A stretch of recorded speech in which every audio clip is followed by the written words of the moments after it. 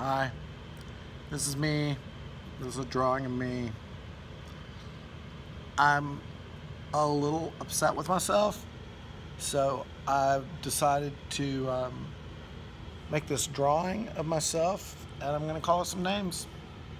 I think this is to help me work some things out, I hope. I can't afford a therapist, so I'm just going to make fun of a drawing of me by calling it some names. All right.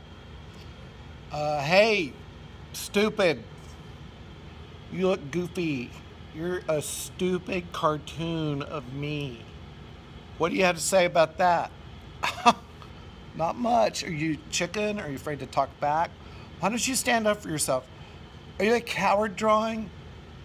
Oh, not feeling very expressive, are we? Well, you were sure full of yourself a while ago.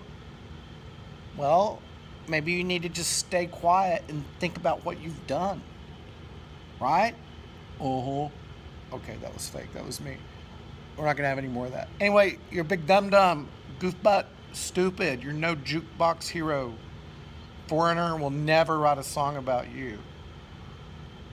You're not even hot blooded, and no one's ever gonna check it and see. Um, so there, stupid dumb drawing. Uh, thanks for listening. I think I feel better now. Okay, bye.